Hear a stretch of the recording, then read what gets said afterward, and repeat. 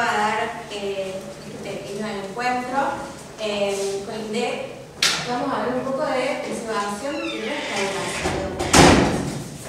Eh, un poco de explicar el por qué eh, Paula invitó a mí a, a dar este encuentro y no un bibliotecario es el hecho de que los archiveros somos como un poco los especialistas en eh, documentos originales.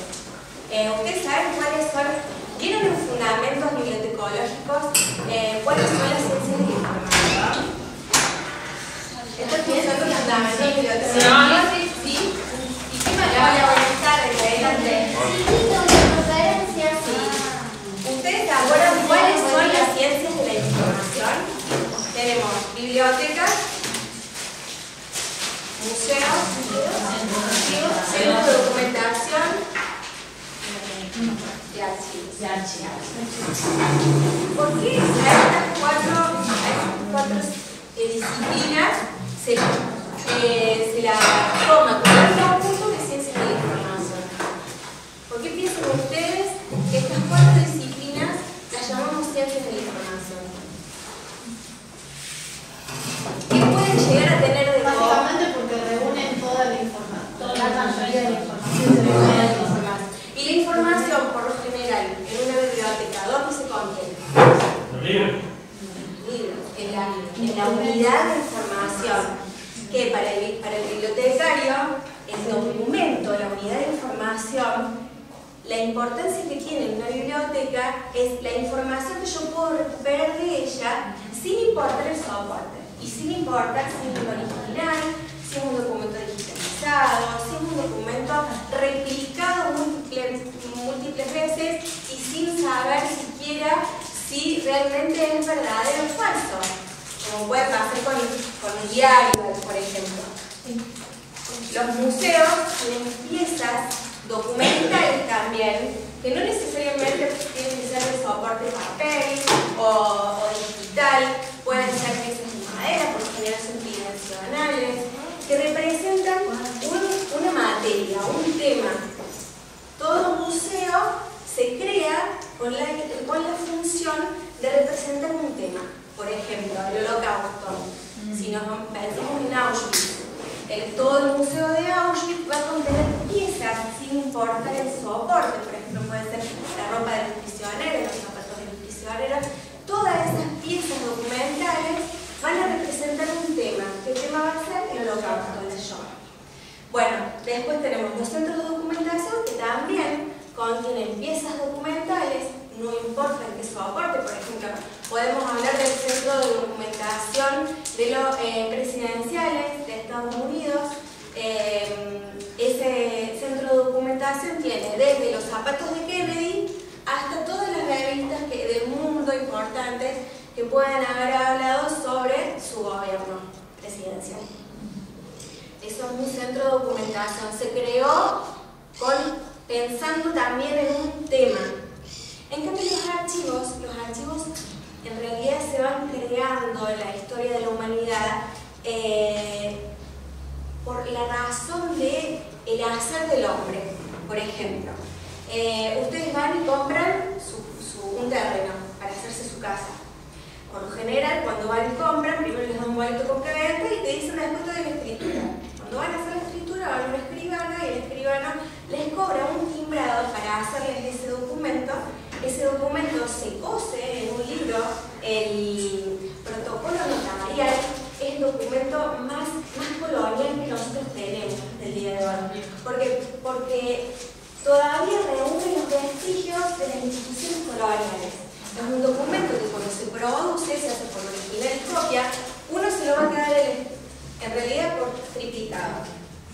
Uno se lo queda el escribano en su archivo personal, otro lo queda el colegio de escribanos en su archivo propio y ese se cose. Hay un, un centro de un taller de información de protocolos notariales y otra copia se la dan a ustedes. Por si el día quieren vender su casa, ustedes para justificar que esa casa es verdaderamente de ustedes les van a pedir el protocolo notarial original de ustedes. Si ustedes supongamos que perdieron, tienen que ir al archivo del colegio de escribanos y pedir una copia de ese original que se contiene ahí. Pero eh, no hay otra forma de justificar ante un juez o ante una acción de compra y venta que esa pasa es de ustedes y no de otra persona. Los archiveros conservamos todo ese tipo de documentación que sirve para probar que algo existe, que algo eh, para probar, para testimoniar, para informar a lo largo del tiempo sobre las actividades del ser humano, compras, juicios, etc. Y siempre trabajamos con originales, a nosotros las copias no nos interesan. Este, por eso es que nosotros trabajamos, somos como especialistas en conservar. No tanto en restaurar, sino en conservar y preservar. La lógica de esta materia es eh, preservación, conservación y restauración. ¿Por qué? Por lo general, se, primero se habla de preservación porque la preservación es toda la actividad que hace el, responsable de un centro de información para que los documentos que están bajo su custodia no se, eh, no se deterioren, no se echen a perder. ¿Cuáles pueden ser esas actividades que hace una persona en un centro de documentación o de información para que no se echen a perder? Como preventivas.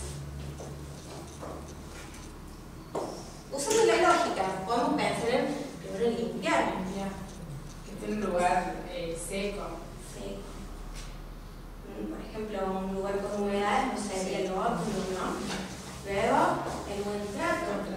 El educar esta actividad de extensión bibliotecológica que la hace muy bien ustedes, de esto de enseñarle al usuario cuando viene a pedir un documento que lo, lo debe cuidar, porque así como lo utiliza él, luego lo utilizan otras personas, esta actividad preventiva de educación también es preservación. Muy bien.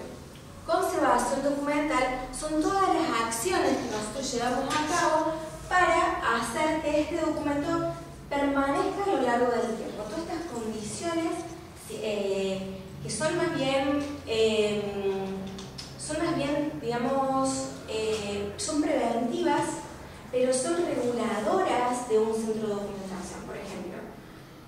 Es lo óptimo para un depósito de documentación que tenga cierta humedad. Porque no, o sea, es cierto que tiene que ser un lugar agradable, pero a veces lo agradable para nosotros personas no es lo agradable para el documento. Si pensamos una, una temperatura ideal para nosotros, ¿qué nos dicen? 24 grados, aire acondicionado. Pero si nosotros pensamos en el documento, una vez me pasó que me llamó una directora de tesis de eh, el IES, el Instituto de IES. Ella estaba dirigiendo una tesis sobre este centro de documentación que se llama Custodia de Archivos. Ellos lo que hacen es centralizar archivos de diferentes empresas. Y los alumnos de, de, esta profesora habían puesto, claro, ellos estudiaban recursos humanos, y habían puesto en su tesis que eh, la, la, la, temperatura, la humedad, las condiciones ambientales de ese lugar de trabajo no eran las óptimas. Claro, porque ellos la veían desde el punto de vista del recurso humano, de la persona que trabaja ahí. Y no pensaron, esa fue la astucia de esta directora de tesis, ¿no? no pensaron en realidad esas condiciones ambientales estaban dadas particularmente por el tipo de documentación de nosotros que se conservan en ese lugar. Entonces yo le decía, claro, la, temperatura que tiene que tener un depósito de, documentación es 17 grados. Por supuesto, una persona se pone frío, pero es condición que tiene que tener. Tiene que tener poca iluminación, por supuesto que si nosotros trabajamos 8 horas por día en un depósito de archivos, la luz va a ser poca pero eso está pensado para el documento, no para la persona. Entonces la conservación son todas aquellas acciones que yo llevo a cabo para lograr que este documento, que son ideales, para lograr que estos documentos se conserven a lo largo del tiempo. Y la restauración es la actividad final. Cuando ya fracasó la preservación, cuando fracasó la conservación, tengo que llegar a restaurar. ¿Por qué? Porque los documentos se deterioraron o suponiendo que eh, hubo algún tipo de siniestro. Pensemos en, muchas veces tenemos archivos tenemos bibliotecas que se ponen en un subsuelo y los subsuelos a veces se inundan, o podemos pensar también en esos archivos que los ponen altillos, y he pasado en tribunales de Córdoba que se, se derrumbó eh, un, un, piso de archivos de tribunales de Córdoba porque no pensaron en la cantidad de documentación que tenía que contener ese piso cada metro cuadrado. El papel pesa, chicos, y pesa mucho. Se derrumbó, pesa una tonelada por metro cúbico. Ah, el conocimiento de esa es pesado. El papel. Una tonelada por metro cúbico. ¿De papel? ¿De papel? Es una tonelada. Eh, una tonelada. Entonces, en todas estas condiciones, entonces llegamos a restaurar porque todas estas actividades de conservación y de preservación fracasan. Entonces, siempre, digamos, un poco, el, me voy a adelantar un poco al final de este encuentro, es siempre pensar que antes de restaurar tenemos dos pasos, que si nosotros los, los hacemos con, acertadamente, vamos tratando, a ver, todos los sitios de trabajo tienen sus necesidades. el archivo donde yo trabajo, por ejemplo, no tenemos la, iluminación adecuada, no tenemos eh, la ventilación adecuada. Sin embargo, hay estrategias, eso depende del responsable del centro de, de documentación de buscar estrategias para suplir las necesidades del depósito de ese archivo, del depósito de biblioteca. A ver, no tenemos buena ventilación, hay que crear corrientes de ventilación. Y esa forma de hacerlo. El otro día me llamaron del archivo del obispado de acá de Villa María que mm, tenían humedad y ellos le habían puesto placas de blotting. Las placas de blotting, no sé si ustedes las conocen, son esas placas de yeso, que esas placas son fantásticas eh, eh, puede contener cada placa 2 litros de agua de un solo chorro. Sin embargo, estas placas de blotting se habían eh, saturado en humedad, porque, porque en vez de arreglar la humedad, pusieron tapada. Exactamente. Entonces cuando me llamaron me dicen, mira, no sabemos qué hacer porque se están contagiando todas las cajas de archivo de esta humedad, y claro, está en el ambiente, me dicen hay mucho olor, claro, la humedad estaba existiendo, nunca se había arreglado la humedad que, del lugar. Y después, ¿qué podemos hacer para que una vez arreglada la humedad, eh, podamos secar la documentación? Y era un espacio cerrado, sin ventanas. ¿Cómo hacemos para crear una corriente de aire? Entonces, bueno, eh, en eso está un poco, tenemos la carencia de, un, de las condiciones ideales de un depósito de archivos. Entonces tenemos que crear, generar una estrategia, nuevos recursos. Entonces la idea es cómo crear una corriente de, aire con ventiladores, cómo controlamos la humedad con un aire acondicionado. O sea, en eso eh, hoy vamos a ver un poco lo que es lo ideal. Después, ustedes van a ver a lo largo de su de su camino profesional, que hay muchas estrategias, hay muchas formas de eh, llegar a los mismos resultados sin una gran Bueno, y a mí me gusta mucho pensar eh, esta, esta, charla un poco desde, desde la revés, desde eh, qué es un poco esto de, de restaurar. y usted, como bibliotecario, escolares que van a hacer, a mí me gusta ponerme en el lugar de ustedes y pensar que quizá no tienen ningún tipo de interés en, esto de restaurar porque se imaginan que no, va, no van a tener nunca, eh, nunca se van a topar en su carrera profesional con esta posibilidad de, encontrarse con documentos antiguos, como podemos tener en los archivos. En las populares sí. En las populares puede ser, pero por ejemplo la Argentina tiene una historia muy corta en comparación de Europa, ¿no? Pero, eh, a pesar de eso, nosotros tenemos una, eh, sitios eh, en Córdoba, en Buenos Aires, en Tucumán, en Salta, que sí conservan documentación que fue traída de Europa. Si tenemos incunables, ¿usted sabe lo que son los incunables? Sí. Son todos aquellos códices escritos antes de la Pascua de 1501. en, en la antigüedad no existía el calendario juliano que es el que nosotros usamos ahora, sino que era otro calendario donde el año no empezaba en la Navidad, sino que en, en el Año Nuevo, sino que empezaba en la Pascua. Eh, tenemos, en la Argentina tenemos incunables, tenemos códices y también los podemos encontrar en las escuelas. Este, por ejemplo, es un, códice encadenado. Eh, se llama así porque el, ustedes saben que el códice no es un libro en realidad. El códice es un formato, ¿no? que es como hacerle una casita al documento para que este no se deteriore. Ese es el sentido, porque en realidad los libros antes se hacían en rollos. Bueno, este códice está encadenado ¿por qué? porque está, en, la biblioteca del Colegio Nacional de Monserrat, en Córdoba. Eh, muy común, eh, y sigue siendo muy común, que la gente se roba los libros en las bibliotecas. Entonces, para evitar eso, estos códices eh, tienen una cadena y están pegados a un banco. Vos querés leerlo, te sentás, lees y queda ahí. Este, es, es muy interesante. Eh, ¿Incendio no lo salvas? No. En un incendio no lo salvas. En un incendio no lo salva, pero esa biblioteca justamente por tener este tipo de documentación cuenta con toda la... tiene puertas a puerta incendio. Bueno. Vamos a pensar un poco qué es la restauración. La restauración es la disciplina que integra la química, la física y la biología. ¿Por qué? Porque si tenemos que pensar sobre todo en obras de, eh, en obras de soporte papel, como van a tener ustedes en una biblioteca, en el caso mío en un archivo, tenemos que pensar en cómo está conformado químicamente. Por lo general, el papel que nosotros podemos llegar a tener en nuestros repositorios está conformado por celulosa, oxígeno y agua. Son cadenas de polímero que se integran, es muy interesante ver, siempre le digo a Paula que tenemos que hacer un taller de, cómo se hace el papel, para que ustedes vean cómo es el proceso químico.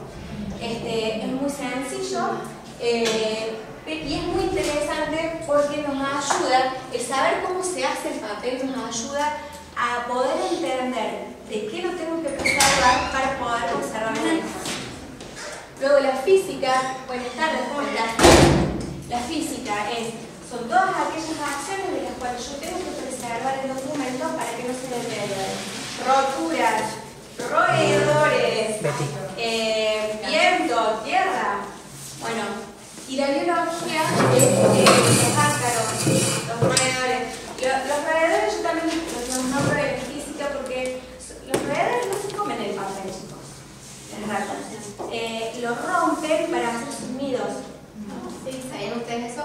Entonces yo lo pongo en la parte de la física ¿por qué? porque ese, ese, esa fuerza que hace el roedor sobre el papel va rompiéndolo y eso se puede hacer un tratamiento para poder restaurarlo. Y también se puede hacer un tratamiento para poder preservarlo directamente restaurarlo. Ya lo vamos a ver. Bueno, la restauración es toda la reparación y la recuperación funcional de los documentos deteriorados. Restaurar es una intervención directa consecuencia de una conservación o preservación no efectiva. Es una intervención directa porque, porque yo sobre el documento roto, por ejemplo, intervengo y le coloco un material que no es el original, pero se tiene que asemejar a él, y tiene que ser eh, removible. Es decir, todo lo que yo pongo debo de poder sacarlo el día de mañana. Y tiene que mostrar, tiene que conservar la característica de autenticidad del documento original. A ver, si yo a un papel le coloco un injerto, un injerto es decir, supongamos que lo tengo roto, busco un papel lo más parecido a este en cuanto a su acidez. ¿Ustedes entienden lo que es la acidez del papel? ¿Alguna vez? ¿Sí? Sí. A ver. Vamos, Paula. ¿Ustedes vieron alguna vez el papel de diario? Ustedes lo leen hoy, mañana está amarillo. Eso es acidez. El papel de diario es el papel más, más económico que hay en el mercado. ¿Por qué? Porque está hecho para lo efímero, para leerlo hoy, mañana bueno, ya el diario no va a existir más, pero bueno. Eh, el papel de documento de archivo se hace con pH neutro. ¿Por qué? Porque tiene que durar siglos, ¿no? Bueno, supongamos que yo a este papel le pongo un injerto, tiene que ser un papel lo más similar al original, pero tiene que denotar la intervención del restaurador. Es decir, el lector tiene que poder identificar que ese documento fue intervenido, porque si no, pasa a ser una falsificación. ¿Está claro? Bueno, y a tener en cuenta, la restauración siempre es muy costosa. Ya vamos a ver, porque lo que son las horas de trabajo de intervención de un solo documento, horas de trabajo del restaurador, eh, ya es costosísimo. Los materiales de trabajo también. Porque la capacitación de un restaurador dura, dura toda la vida. Y mm, bueno, ahora ha empezado a haber un poco de formación profesional en esta disciplina acá en Córdoba también. Si no, hay muy pocos restauradores. De hecho, por ejemplo, van a ver, no sé si. ah, ¿Todos son de acá de Chimaria o no? No. Nuevo. Ah, Villa María. No, A no, ver, al final. El Vin. Ay,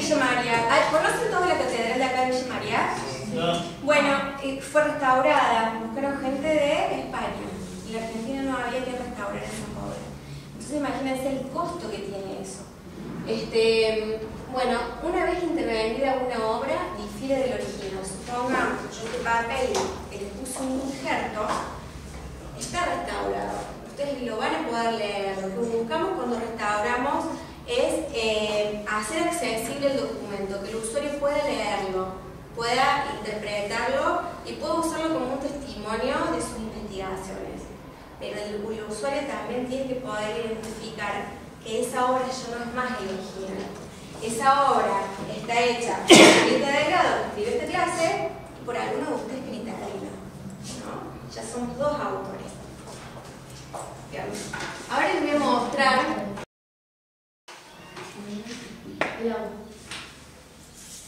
entonces,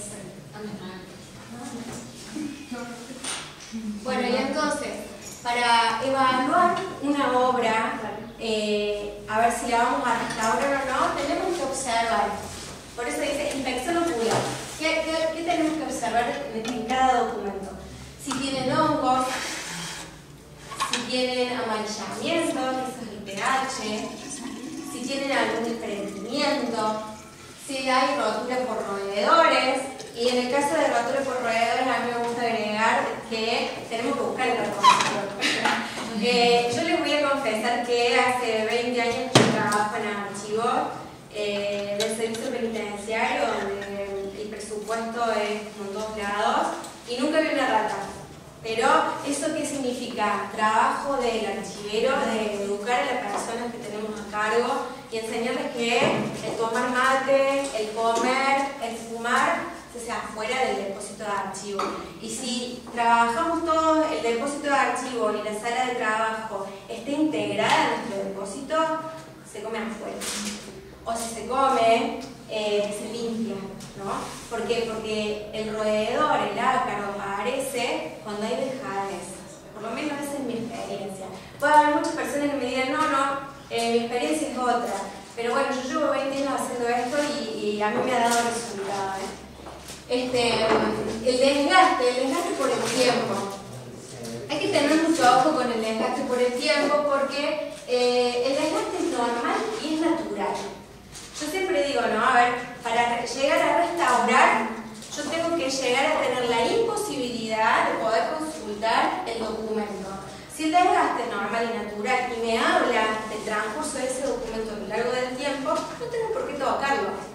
El año pasado les decía a las chicas, si yo tengo un códice que tiene una mancha de cera, a la hora de restaurarlo, yo, si de restaurarlo o no, sacarle la mancha de cera o no, yo no se la. ¿Por qué? Porque esa mancha de cera a mí me puede decir que ese códice fue leído a la luz de las velas. Es información. información histórica. Exacto. Bueno, las manchas de óxido local, la decoloración, chicos, hay que tener mucho cuidado con eh, ustedes que van a trabajar en bibliotecas escolares, a las bibliotecarias les encanta la cinta adhesiva.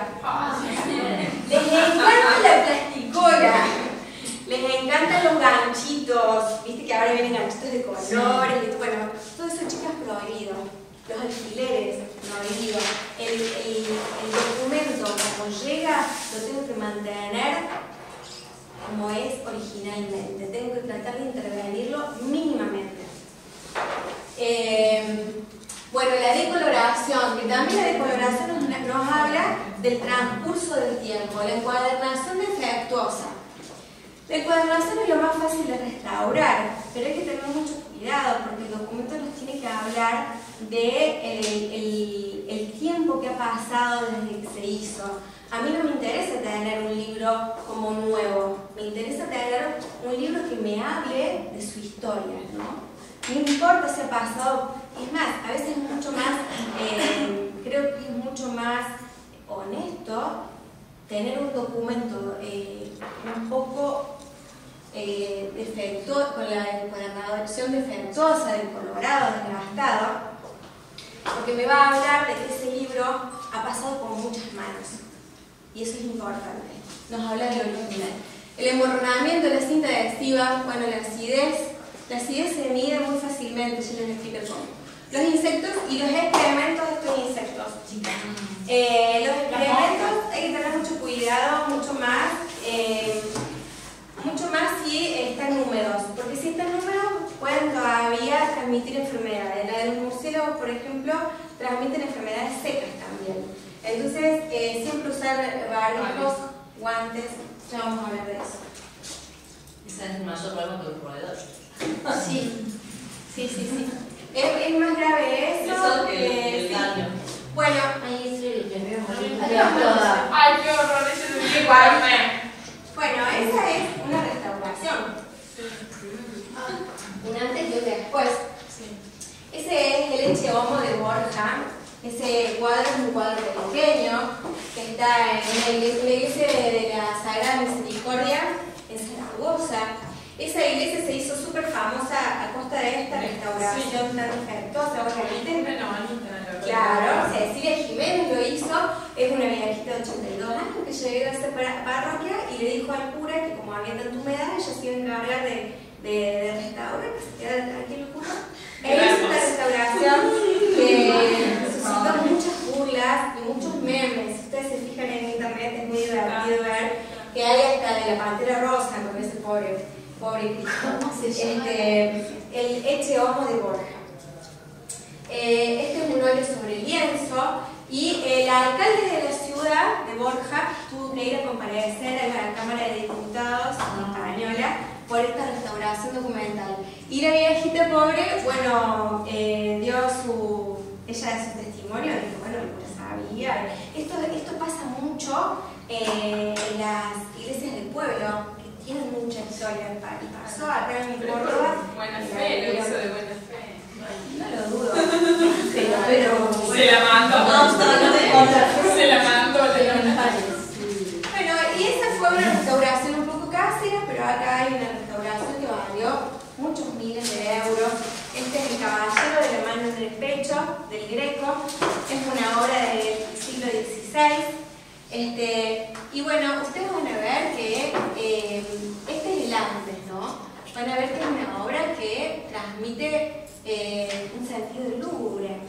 Es un caballero que eh, nos, nos muestra algo de, tenebroso, es muy propia de Greco, este tipo de imagen. Y bueno, la restauración se hizo en el año 1996. Esta obra está en el Museo del Prado, uno de los museos más importantes del mundo. Este, y su equipo de restauradores eh, hizo esto. Un poco diferente del original, ¿no? Donde el original oscuro de la obra, el original oscuro de la obra, eh, que nos, nos transmite un impacto lúgubre, se pierde con el grisáceo de la restauración, perdón, de la restauración, donde la capa del hombre también no se distingue con el fondo de la diferente. Además, como que. No, aparte esto, todo. Ustedes ven que esta intervención difiere del También original. quieren. Pero eso tienen cierta norma. Pero además, estas intervenciones, hay una de característica que tiene toda intervención eh, documental, es que tiene que ser eh, removible. Es decir, cuando yo la coloco, tengo que poder sacarla. Estas obras ya no se pueden modificar. Y ya difieren del original, es decir, tienen dos autores, ya no es el greco solo, sino que es el greco con este señor que le hizo. También esta, esta obra llegó a la Cámara de Diputados y el director del museo, Fernando Checa, tuvo que dar explicaciones sobre esta obra. Porque bueno, el pueblo español es un pueblo muy, muy conservador de su, de su patrimonio documental, es muy consciente de, de, su arte y no iba a permitir que esto pasara, pasara por alto. Ahora vamos al Museo del Louvre. Este, esta es una obra de Leonardo da Vinci. Este, es la obra que eh, se llama La Virgen, el Niño y Santa Ana. Santa Ana es la mamá de la, la mamá de la Virgen María, la abuela del Niño Jesús. Y ustedes van a ver, este es el antes y el después, van a ver, bueno, los píxeles de esta, de esta foto no me ayudan mucho, pero van a ver cómo el antes y el después en el color del manto de la Virgen difiere, es más fuerte. Y hay, hay, algo que es muy característico de las pinturas de Leonardo da Vinci, es que él pinta en un esfumato, es, es una forma de hacer el trazo del pincel en el óleo que le da una, eh, es una característica particular que le da un, una, es, bueno, es una técnica especial, es un trazo diferente, que con la restauración se pierde. Por eso van a ver que los colores son más fuertes. Bueno, después tenemos, ah, la máscara de Tutankamón. Esta obra es maravillosa.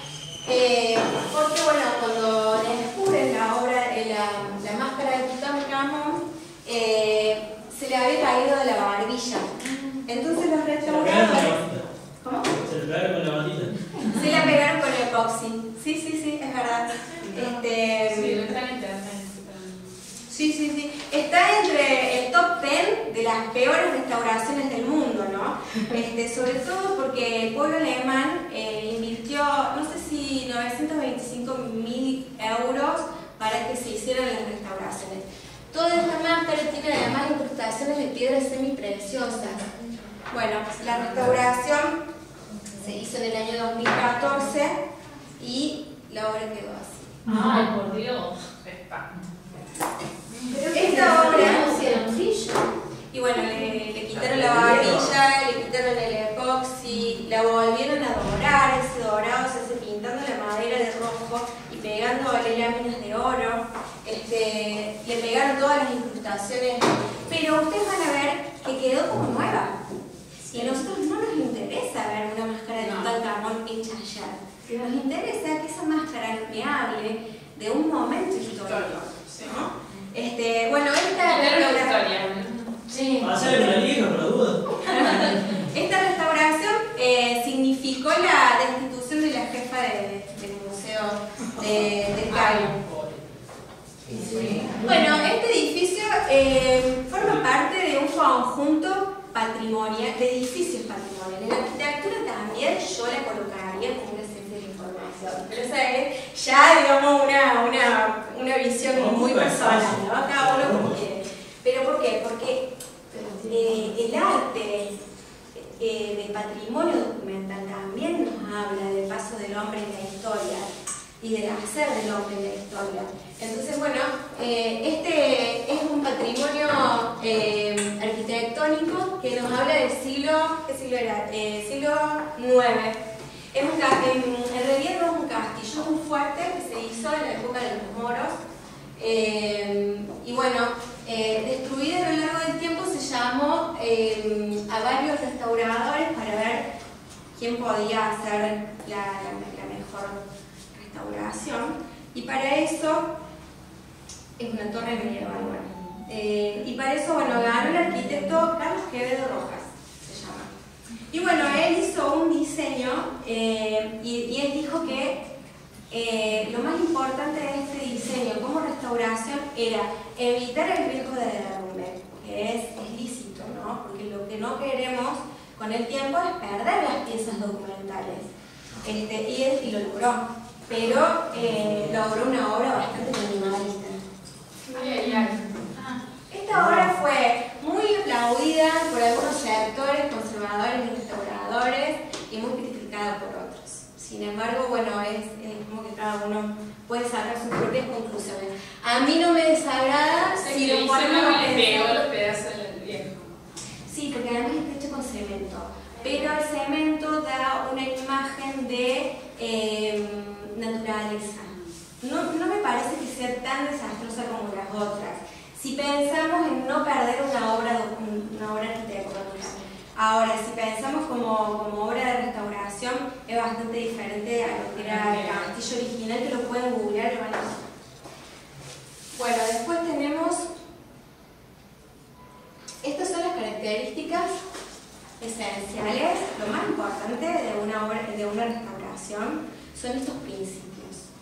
El principio es, el principio fundamental de toda restauración es el respeto por la originalidad de la obra. Es decir, la obra ya no tiene que parecer otra, sino que nos tiene que hablar del original. Tiene que haber una mínima intervención, esto que decíamos recién, tenemos que buscar materiales adecuados, parecidos a lo, al original, pero que me sigan hablando de que hubo una intervención de una segunda persona diferente del autor. Tiene que haber compatibilidad de materiales, es decir, si yo estoy trabajando con papel de celulosa, tengo que injertar papel de celulosa también y tengo que hacer todos los pegamentos con celulosa también. La estabilidad del material, por eso se hace el control de pH, es muy fácil, a ver. La reversibilidad de materiales, esto que yo les decía, que yo todo lo que ponga tengo que después poder quitarlo, porque lo que tengo que conservar es la autenticidad del documento. La integridad del original, el original me tiene que hablar del autor, me tiene que hablar de un momento histórico. Este, la conservación integral de, en el caso de ustedes, vamos a hablar de códices. Y la visibilidad. Yo cuando veo un documento con un injerto, tengo que poder darme cuenta que esa, esa obra fue intervenida. Tengo que poder verla claramente. Y bueno, es muy importante, en el caso de ustedes que seguramente van a conducir el tipo de trabajo, compartir nuestro saber. Chicos, eh, es muy importante que todos formen un grupo con las personas con las que trabajan. Y eh, cuando hablamos de, todos, hablamos de las personas de, que hacen la limpieza diaria también. Este, esa es una forma de sumar fuerza. ¿Y por qué tenemos esta obra? Eh, a mí me gusta mucho citar esta obra porque esta es una obra de vanguardia. Se llama, este tipo de arte se llama arte destructivo. Es un tipo de arte que surge después de la Segunda Guerra Mundial eh, donde ante el horror de la guerra, el ser humano quería dar un mensaje al mundo que es el de el horror, ¿no? Entonces, el arte destructivo busca piezas, como por ejemplo eh, acero eh, o materiales metálicos o ladrillos o plásticos, como pueden ver ahí, y destruirlos, corroerlos, entonces, de esa forma expresan la destrucción del mundo a través de la guerra. En el caso de esta obra, esta obra está en el Museo Tate de Londres y fue hecha por eh, Gustav se llama. Este, ustedes van a ver que la obra tiene acá una bolsa, una bolsa de basura. ¿Qué pasó? Cuando vino una persona de la limpieza, el Museo Tate es uno de los más importantes del mundo. Vino una persona de limpieza, interpretó que esta bolsa era una bolsa de residuos. no! ¿Hizo lo correcto? ¿Quedó basura el saco? bueno, eh, por suerte, bueno, el, el, autor de la obra no costó mucho y, y, la, y la, volvió, la volvió a representar. Pero bueno, esto nos habla de que tenemos que formar un grupo, que todos tienen que saber el valor. No digo yo que eh, estamos lavándole el cerebro a todos, pero sí que de alguna manera dar un mensaje de lo valioso que es poder conservar, poder tener condiciones eh, indicadas para, para guardar nuestra documentación. ¿Por qué? Porque habla de nosotros, habla de nuestra historia, habla de nuestras comunidades. ¿no? Bueno, y así como tenemos muy malas restauraciones, ha habido también en el mundo, y las hay, y las va a seguir habiendo, eh, restauraciones muy, muy exitosas, por lo menos que a mí me han gustado mucho. En el Bundestag, el Reichstag, ahí era donde vivía Hitler. Eh, en una época el parlamento alemán estaba en Bonn, después se muda a Berlín, y este eh, parlamento. Lo van a ver, bueno, la foto está un poco en blanco y negro, pero está como muy destruido a causa del fuego y las bombas. Y la película, sobre todo, quedó solamente la estructura. Después de la Segunda Guerra Mundial, y sobre todo fue en el año 1993, donde el gobierno alemán decidió restaurar el domo sobre todo. Y entonces llamaron a, una, a, un concurso, que lo ganó Norman Foster, fue el que hizo la restauración de ese domo. Ese domo, ese domo fue restaurado de esta manera, este es el Bundestag el día de hoy. Si ustedes pueden ver, no sé si se ve desde allá, pero el domo fue restaurado como una cúpula de cristal que adentro tiene como un trompo de espejos. Esta, esta forma de restaurar, si nosotros a simple vista la vemos, nos vamos a dar cuenta que no forma parte de la estructura original. Ese ya es una de uno de los principios de la restauración. Nosotros, que la restauración sea visible. Después, la restauración también en la arquitectura nos tiene que dar un mensaje. En este caso, el mensaje, lo que simboliza esta restauración, el autor de la, de la restauración dice, simboliza el apartamiento de la Alemania nazi del comunismo para hacer énfasis en el futuro de una Alemania democrática y unida. Y además, no solo que esta restauración tiene es un símbolo, porque es un símbolo de la nueva Alemania, es visible, o sea, que forma parte de una restauración acertada. También se puede sacar, ¿no? Esto que decíamos que tiene que tener una obra restaurada. También respeta el medio ambiente, que es una de las características propias de la sociedad moderna o postmoderna, ¿no? Hacer que las obras, eh, toda obra documental, tenga también un beneficio ecológico. Esta obra es autosustentable, ¿por qué? Porque hace que este tronco que está aquí adentro origine eh, luz, eh, tiene paneles de luz solar, luz para todo el edificio. Y además, bueno, todos los visitantes pueden entrar gratuitamente todos los días al edificio. Es un edificio que lo que quiere demostrar el pueblo alemán con esta restauración es la, transparencia de su, de gobierno. Bueno, esta es la cúpula de noche, que ustedes la pueden ver, se puede sacar, se puede poner, tiene pasarelas.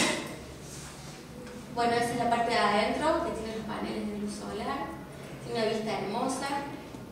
Bueno, acá llegamos al 8 de noviembre de 1989, la caída del muro de Berlín. Este, así estaba el muro frente a la torre de Brandenburgo. Este, en el, el, día de hoy nosotros podemos ver esta torre de Brandenburgo, donde ya vemos que el muro cayó y que hizo el pueblo alemán, también llamaron a una especie de licitación para ver cómo iban a hacer para conservar la memoria de ese muro que ya no estaba más y que en la historia de Alemania fue muy importante. Entonces, ¿qué se hizo? Adoquines, no sé si lo borré esa foto, sí. Adoquines en el piso marcando todo el recorrido del muro, que el muro iba por aquí adelante, como lo ven en la foto anterior. ¿Mm? Pero bueno, esa es una restauración acertada en el sentido de que desde lo invisible podemos conservar la memoria.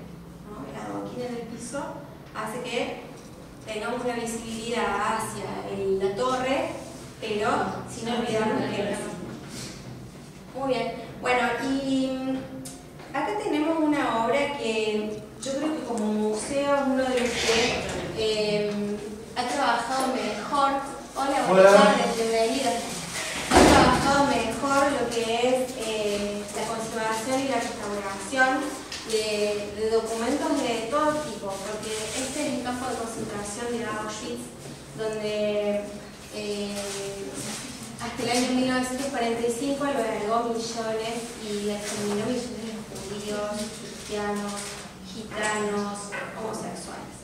Entonces, eh, este campo de concentración es es conservado con fondos de todo el mundo, de judíos de todo el mundo y del pueblo alemán.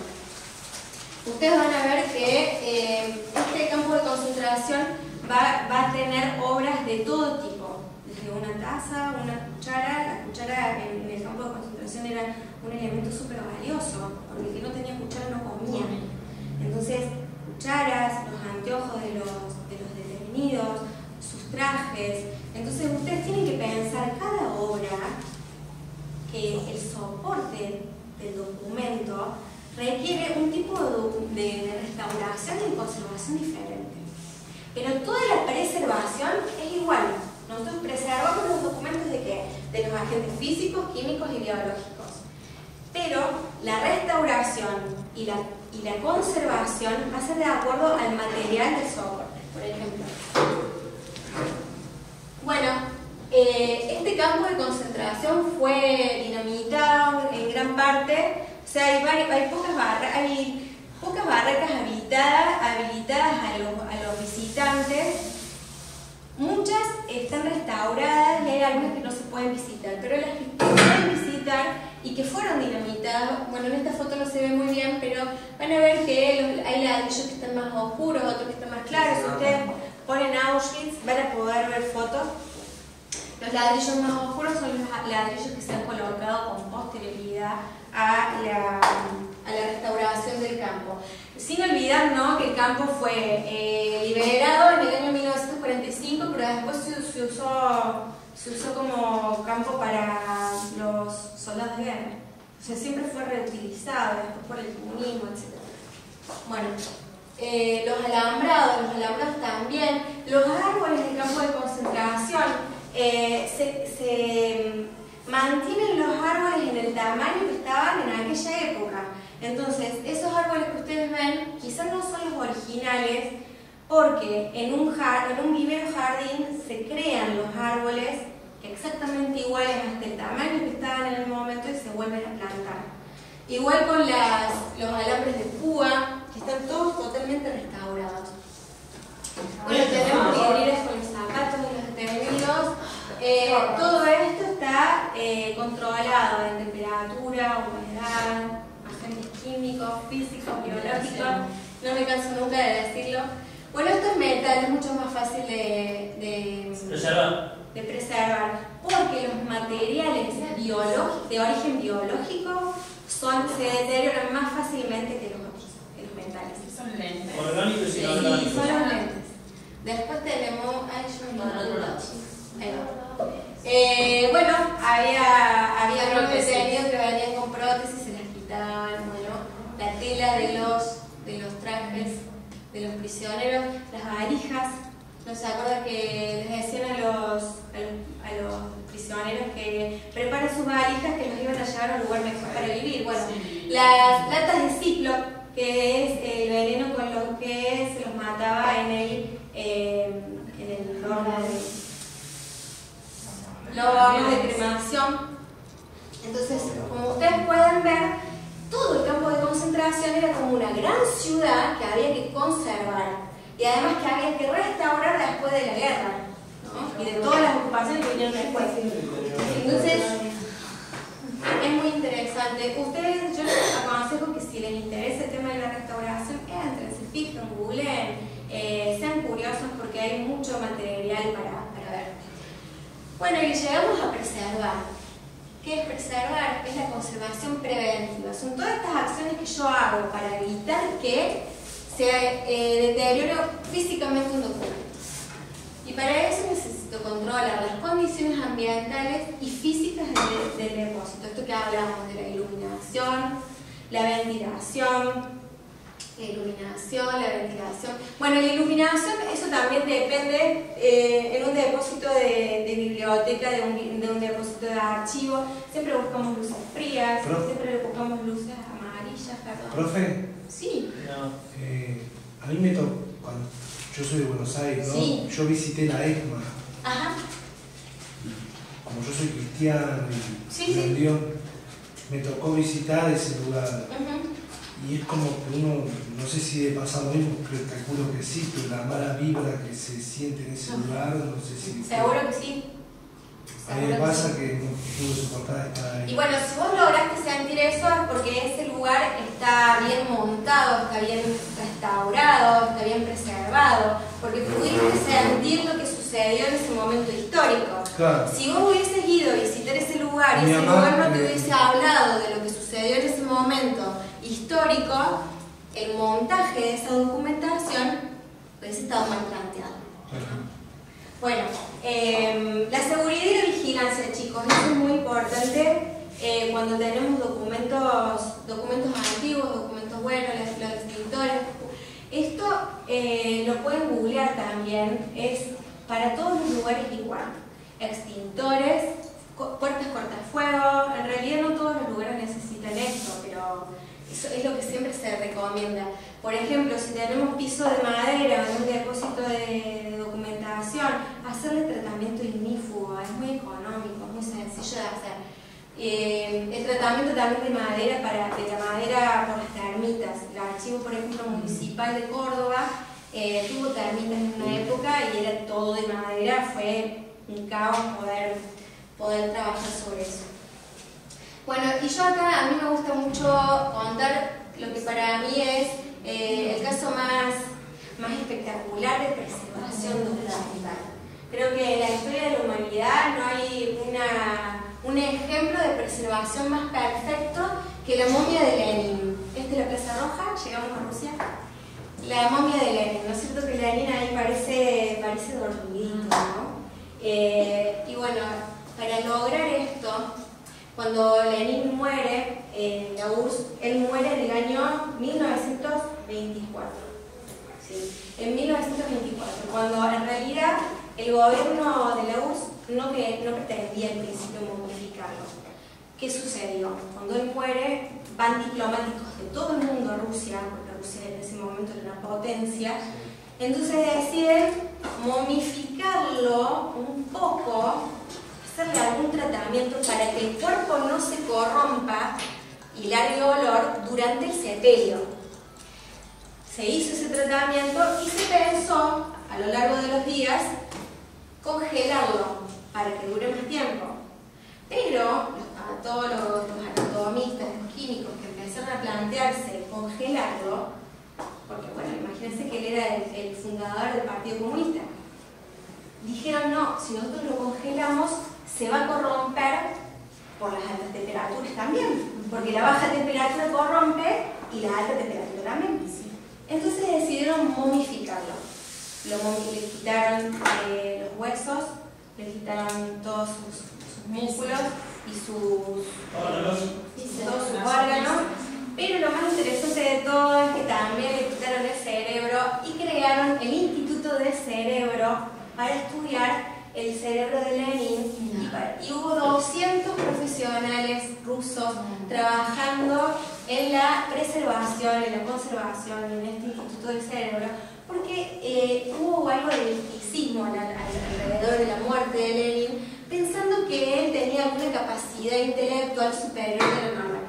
Que eso con el tiempo demostraron que no era así, el Instituto del Cerebro dejó de existir, pero sí sigue eh, en la Plaza Roja sigue siendo exhibido Lenin y hay eh, un grupo de patólogos, restauradores, anatomistas, eh, químicos que trabajan las guardias de 24 horas para trabajar sobre la conservación y la, preservación del cuerpo de Lenin. Imagínense cuerpo humano.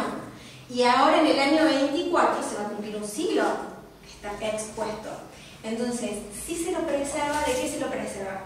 De los agentes químicos, físicos y biológicos. Temperatura, humedad, iluminación especial. Y este, bueno, es muy interesante, también lo pueden googlear porque ha habido como... El, eh, no está como vidriado, un sarcófago ah. vidriado, sí, parece.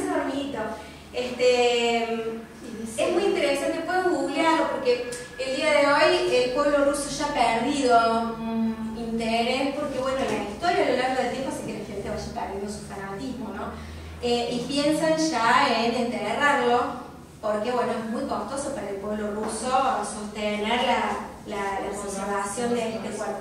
Imagínense que es un cuerpo humano, ¿no? Entonces dicen que los mostachos constantemente les están haciendo injertos, que la piel tiene injertos de cera, pero si ustedes lo ven a simple vista, parecen sus dulces sueños. Este, la piel le brilla, se podrían hacer de cera. Bueno, y van a ver que también tiene este gesto propio, porque los se saludan con el puño. Bueno. Eh, bueno, ¿y qué, qué elementos podemos, podemos, puedo aconsejarles para, para poder preservar su documentación? Las cajas de cartón no ácido. Eh, las cajas de cartón no el, el ácido también va migrando como el polvo. Si yo pongo un papel no ácido con un ácido, se va a contagiar, eso significa migrar. Este, estas cajas de cartón los pro- protegen la documentación de la luz, del polvo y los agentes contaminantes.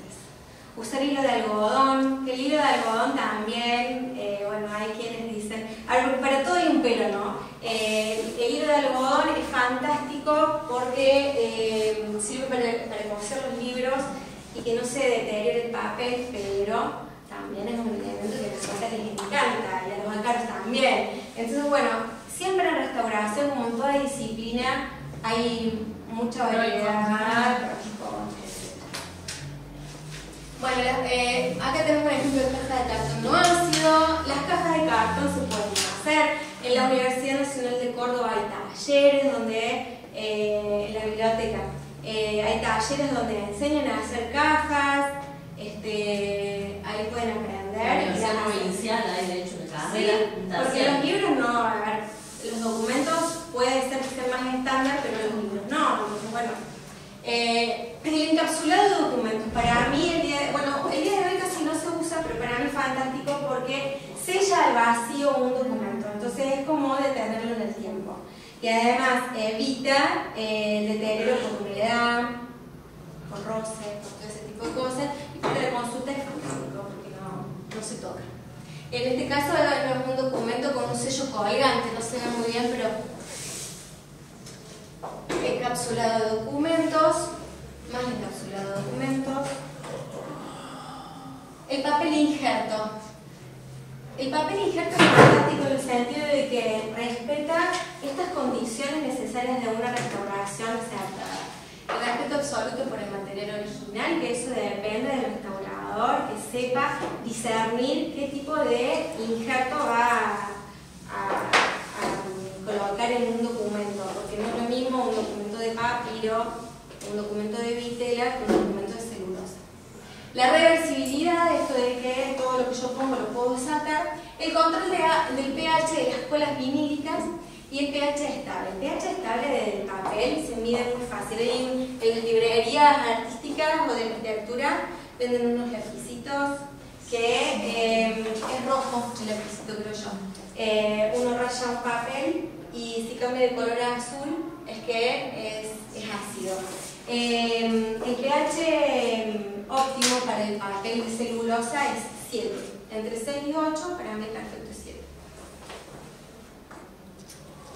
Bueno, tenemos más injertos, no sé si lo ven. Es visible y lo hace más visible esta como especie de eh, guardita que le han puesto el restaurador. ¿No? Bueno, tenemos también, esto, esto es para casos más, más importantes. Sí, en el caso de las actas capitulares de Córdoba, se guardan en una cámara de control de temperatura, humedad y seguridad. Es una, como una caja fuerte que lo que hace es detener en el tiempo el deterioro de- del papel. El Eh, Vaticano también usa.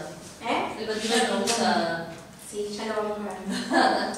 Ah, me olvidé otro video, tenía otro video. Bueno, la preservación. La preservación es la sensibilización y toma de conciencia. ¿Cómo podemos preservar de mejor manera un documento? Utilizándolo, reproduciéndolo, eh, migrando la información de un soporte a otro. Es costoso, pero es lo que nos asegura que un documento que está siendo solicitado por un usuario 15 veces, puedo reducir esa consulta a dos y las demás veces consulté la copia migrada.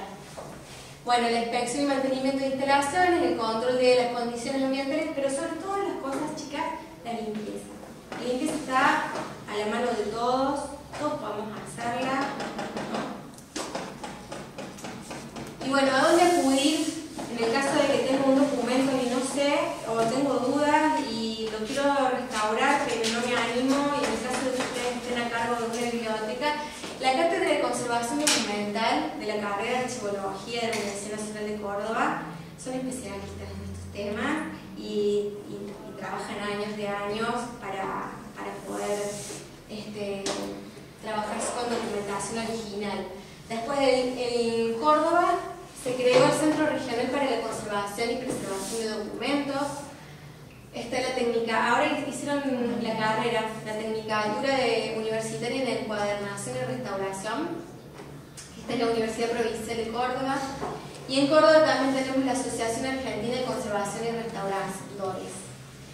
Eh, acá en Villa María, en el caso de, eh, a ver, Villa María no tiene documentos tan, tan antiguos, pero si quisiéramos hacer un cambio de encuadernación, si quisiéramos hacer una restauración sencilla, y entonces encuadernaciones son especialistas en restauración, trabajan muy bien, y bueno, es algo como para tenerlo en cuenta. Bueno, eh, a mí me gusta, no sé por qué se ve así. Me gusta mucho hablar de este tema porque, porque son pocos los que hablan, son muchos los que hablan de, eh, de la restauración, de la preservación.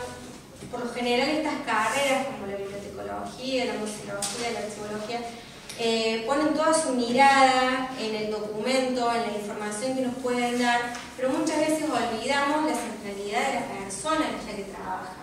Ahora decimos cuáles son las condiciones necesarias para que un documento no se estropee, que son 17 grados, pero nos olvidamos que eso hace mal a nuestra salud.